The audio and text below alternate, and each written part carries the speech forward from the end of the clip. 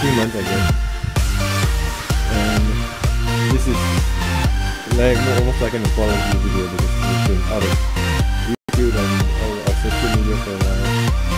And uh, yeah, we do apologize for that because some of you have been inboxing us about our inactivity and uh, yeah, we are making some new content very soon. And uh, I hope you guys like it. This video is on Instagram, so it won't be out on YouTube.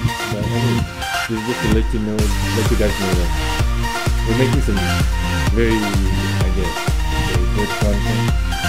So stay tuned.